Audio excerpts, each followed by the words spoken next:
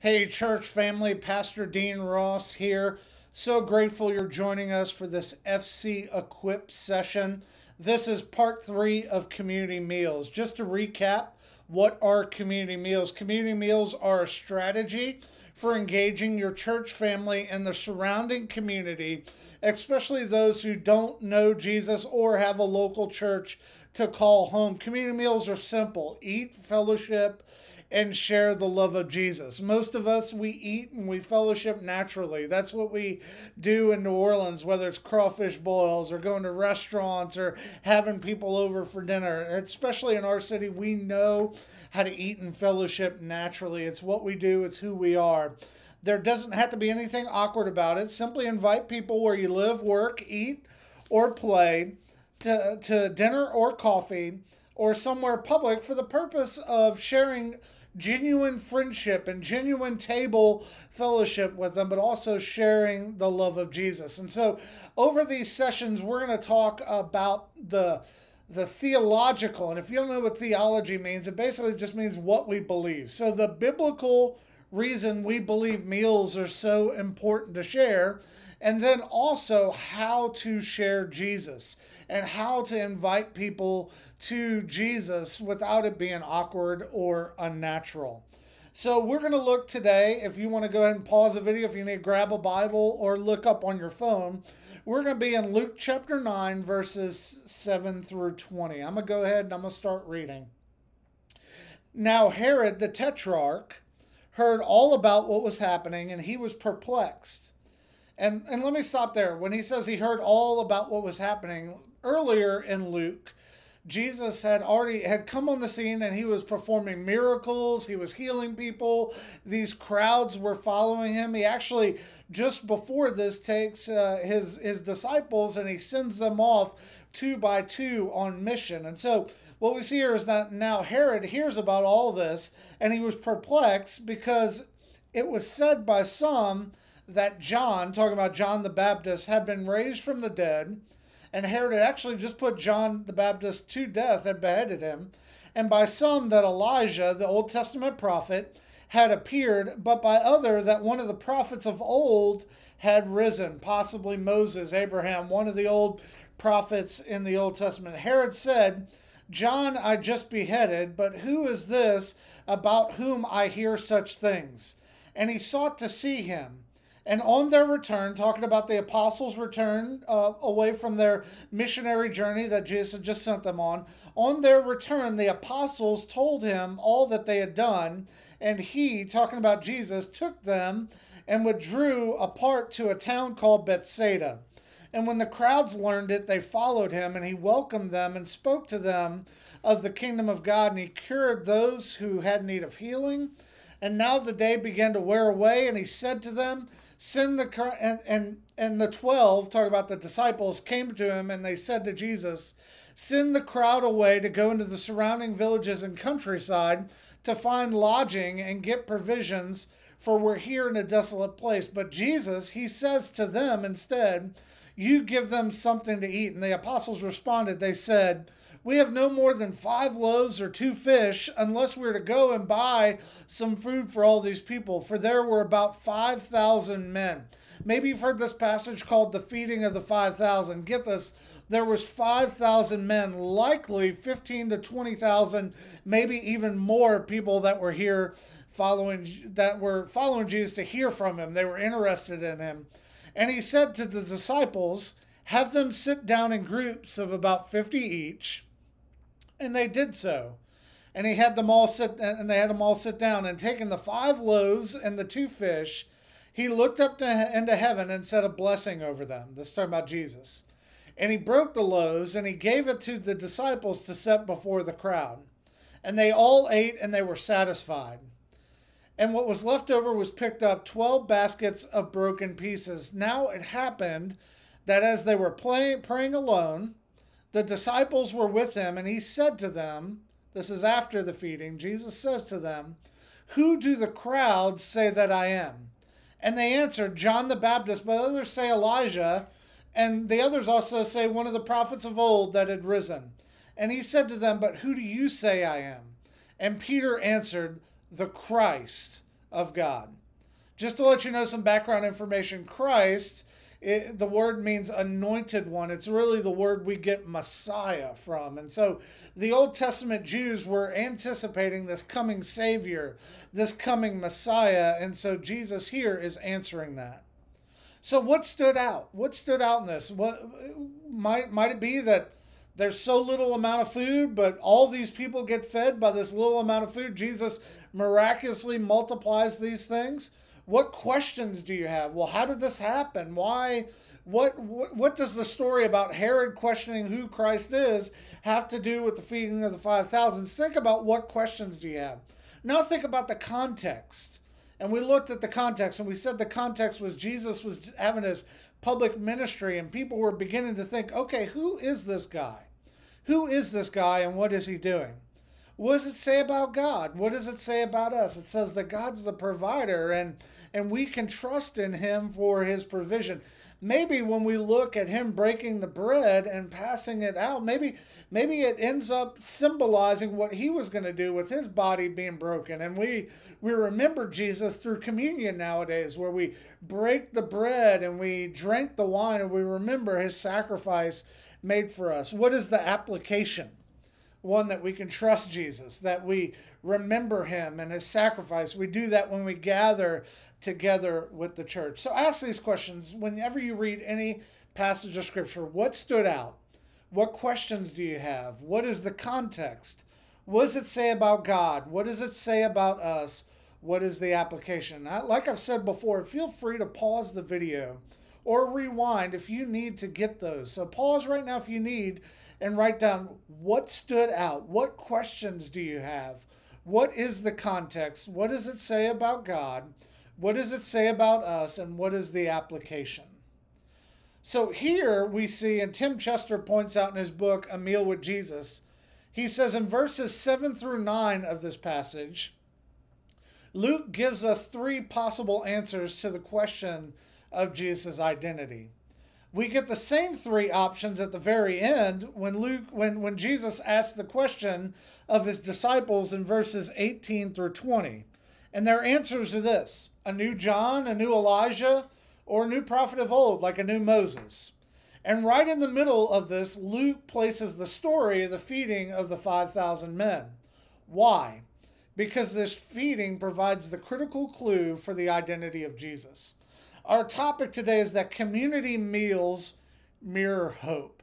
The feeding of the 5,000, uh, the answer to the feeding of the 5,000 tells us who Jesus is. He's the Messiah. He's the Christ of God. He's the hope for humanity. Meals show us the hope that we have in Christ and the hope that we can extend to other people. Tim Chester furthermore writes in his book, A Meal with Jesus, he writes, Our world is a world of hunger, pain, suffering, and want. Even in neighborhoods where most people have enough to eat, we still live in want. We're still unsatisfied. We may not long for bread, but we all long for meaning, intimacy, fulfillment, community, and purpose. The Christian community is the beginning and sign of God's coming world, and no more so than when we eat together. Our meals are but a foretaste of the future messianic banquet that we're all promised. You read the book of Revelation, uh, there's there's depicted in the book of Revelation this marriage supper of the Lamb, where every tribe, nation, and tongue come together. And I firmly believe the Cajuns are going to help help our Messiah cater because the food's got to be really, really good. But this is going to be a meal like no other. Meals are important because they show our dependence on God. Some of us, we might have grown up with our parents teaching us to say prayers before our meal, to say a blessing over our meal.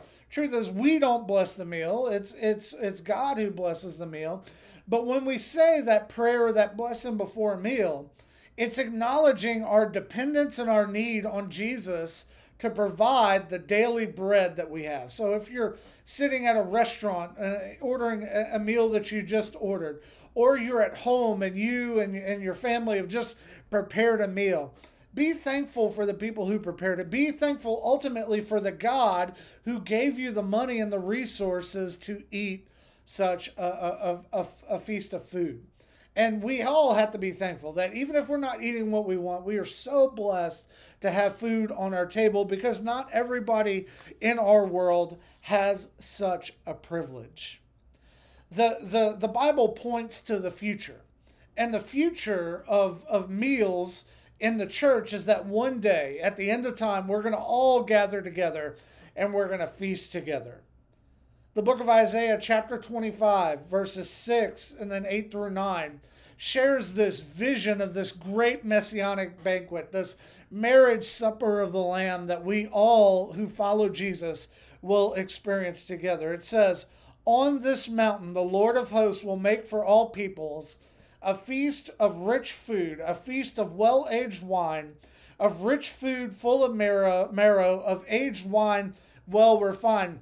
Get that it's rich food and good wine. Jesus is bringing the best to the party. The marriage supper of the Lamb is going to have the best of the best. He will swallow up death forever, and the Lord will wipe away tears from all faces. And the reproach of his people he will take away from all the earth. For the Lord has spoken. It was said on, it will be said on that day, Behold, this is our God. We have waited for him that he might save us. This is the Lord. We have waited for him. Let us be glad and rejoice in his salvation. Meals remind us of the hope that we have in Jesus because not only are we dependent upon his provision to have food at the table, but even the opposite, when we're fasting, and we're praying, and we're getting rid of food to focus on Jesus, we are furthermore reminded of our dependence upon God and dependence upon his substance to get us through life and its struggles. And so may we never forget that food is a sign of the hope that we have in Jesus. And may, may we show the hope that we have in Jesus through the meals that we share with other people. Now I want to encourage you, like I have every week, to make a make a list of four people in your life where you live, where you work, where you eat, and where you play who don't know Jesus or don't have a local church. Maybe you don't even know that well. I want to encourage you to write those down right now, and we're to pause the video if you need, write them down, and we are to pray over those right now. And I would encourage you to go ahead and start doing meals. Invite someone.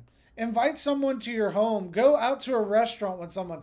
Have your family get together and throw some sort of feast. Invite someone and begin to share the love of Jesus with them through fellowship and with word and with truth. Let me pray for you right now. God, I pray for the, the list that we have. I pray for the list of the people that we know that need you, that we write down here every week. God, I pray right now that you would be preparing the hearts of the people that we are prepared to feast with. God, help us to show your love boldly. It's in your name that we pray. Amen. Now, we've been talking about the three circles life conversation, God. I encourage you, if you don't have one of these, you can pick up one at Family Church or you can go online, Google uh, Three Circles Life Conversation Guide. There are free resources online. This is a good, this is not a gospel tract that you hand to someone.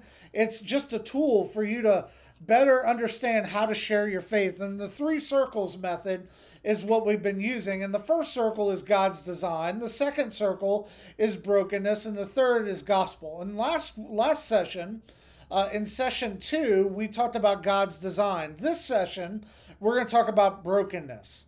So, brokenness is a result of sin. And in the three circles guide, it describes brokenness in this way Life doesn't work when we ignore God and His original design for our lives. We selfishly insist on doing things our own way. The Bible calls this sin. We all sin and distort God's original design for us. The consequence of our sin is separation from God. In this life and for all of eternity, sin leads to a place of brokenness. And we see that all around us in our own lives as well. When we realize that life is not working, we begin to look for a way out. We begin to go in many directions, trying to find different things to figure it out on our own. Brokenness leads us to a place of realizing our need for something greater. This is the pivotal point that we use to share the love of Jesus. Our world knows the world's not supposed to be as it is. Whether it's disease, whether it's racism, whether it's uh, the economy struggling, our world knows that things aren't supposed to be the way they are, but we can't fix those things on our own. The only hope that we have is Jesus, and we're going to get to that next week when we talk about the gospel. Now, to close out our session, we've been wanting to pick a topic every week that you may get when you're sharing Jesus. Uh, it's what we call in seminary terminology or theological terminology, we call it apologetics. That's where we get the word apology from. It means that we are ready to defend what we believe. And so, one topic that I want to talk about this week is can I trust the Bible? Can I trust the Bible? I would encourage you to look up a good resource about where did the Bible come from? I know J.I. Packer has a really good book on how do we get the Bible. Uh, if you need more resources on how did we get the Bible, what books were not included, can we trust the books that were included, all of that, feel free. I've written an entire paper on it and have resources. Feel free to email, email us at connect at jointhefamily.church and I'll send you what I have. So connect at jointhefamily.church. You can go to our website and just click the contact, the connect link, and I would love to send you those resources. But just to share uh, a, a few quick things with you. Know this that we have more manuscripts of the of the you know the Bible's broken into the Old Testament and the New Testament. The Old Testament is not debated at all. Like the Old Testament is is is is is pretty set in stone. We we Jews acknowledge the Old Testament, Christians acknowledge the New Testament. Now Protestants uh, have and, and Jews have less books than Catholics have in the Old Testament. That's called the Apocrypha. And my very quick note on the Apocrypha is there, as long as you read it, just um, just uh, just to read it there's nothing really damaging about it. I wouldn't form any doctrine around it because it, these are kind of some disputed books and not all across all of his history of christianity have they been accepted. Not bad to read. I just wouldn't form all doctrine around it but we can trust the books that we do have. The 66 books of the old testament and the new we can trust every single one of them. And and there's a way that we got those books. One, we have ancient manuscripts. I don't know if you know this. The Bible is the historically the most well-attested ancient book in history. It can be trusted. Uh, in fact, we get most of our Roman history from Tacitus, and we only have two surviving manuscripts of Tacitus's Roman history, including the most ancient, other than the Bible, the, the most ancient book that we have most manuscripts of is Homer's The Iliad, and we have 643 manuscripts of that. Do you know the New Testament alone? We have at least, if not many more, over 5,000 completed manuscripts or partial manuscripts of all the New Testament. We have many more documents that support the New Testament. The New Testament is not only, it is the most well attested uh, document, uh, historical ancient document in history. You can trust the Old and New Testament that they are God's Word. The Bible says that all scripture is God breathed. So, men, we did not deliver these words. We, mankind, men and women, we didn't give these words. These words came under direct inspiration of the Holy Spirit over thousands and thousands of years. Now, there's five different criteria for what ended up in the Bible. Now, the here's the five I want to share with you. One, the book had to be authoritative. It means that it had to have the authority. It had to have be written by someone who was an eyewitness of the account. It means the New Testament, these were people who knew Jesus, who walked with Jesus, who experienced the miracles of Jesus. These are eyewitnesses of Jesus. It had to be authoritative. Two, it had to be authentic. It had to be proven. It had to be um, it had to be prophetic. It had to be something that spoke to God's law and God's goodness and God's grace. It and then thirdly, it had to be consistent. It had to fit in with the rest of God's word. It couldn't say anything off the wall. In fact, there's a there's a, a book in the that didn't get included in any hardly any uh, Christian New Testaments that was found many years later as the Gnostic writing called the Gospel of Thomas. And the last verse in that reads, Peter, basically, I'm paraphrasing here, but Peter asked Jesus, How shall women enter the kingdom of heaven? Or how shall Mary enter the kingdom of heaven? And Jesus says, only unless a woman humbles herself, or Mary humbles herself and becomes a man, shall she enter the kingdom of God. Becomes like a man, shall she enter the kingdom of God. Well, there's a reason the Gospel of Thomas no got no nowhere near being included in the Gospel. One, it wasn't written by Thomas, and it was written hundreds of years after the apostles had died. And so the Bible that you have is well attested. It's true. It's consistent. Also, it's universal. It's universally accepted. It means that there's nobody questioning that should this book be in there or should this book not be in there. The 66 books of our Bible that we have are attested. They are they are thousands and thousands of Christians for millions of Christians for generations have have attested to them and know that they are true. And lastly, they're spiritual. There's something about the Bible. We don't read the Bible, the Bible reads us. In fact, I've known people that have read the Bible and the Spirit comes and saves them through the reading of God's Word. You don't hear this with other ancient documents. There's something spiritual about the Bible. Now, we worship the, the Trinity God the Father, God the Son, God the Holy Spirit. And the Bible is not God, it's not a member of the Trinity, but the Bible is God's words to us. They're completely authoritative, they're completely inerrant, infallible, and we can trust those words. And so I'd ask you are you reading? your Bible. The best way you can answer the question, can I trust the Bible, is through your story that you share with other people of saying, you know what? Jesus says that all those who call upon the name of the Lord shall be saved. Romans 10 13. I called upon the name of the Lord in my lowest time or my most self indulgent time, and He saved me, and here's how. How do you know the Bible is true? Well, we live out God's words. And so I want to encourage you to live faithfully for Jesus. If you have any other questions, please contact us at jointhefamily.church. We would love for you to join us. We would love for you, if you don't have a church home, to become part of a church family. Please connect with us. We want to walk you on the journey of becoming more like Jesus. I encourage you to share meals, share, share meals, encourage, connect with other people, point them to Jesus and his church. Let me pray for you. God, I thank you for those who are listening today. God, I pray blessings over them right now. God, I pray as we read your word, and even today as we read the story of who do you say that I am? Because that's the most important question that we'll answer. God, and as we looked at the feeding of the 5,000, Lord, we, we're reminded that our hope is in you, and that when we share meals and we share life with other people, they see hope in you through us as we show our faith in you and as we love people just as you've called have, have loved us. So, God, help us to love you passionately and love others personally. It's in your name that we pray. Amen. God bless.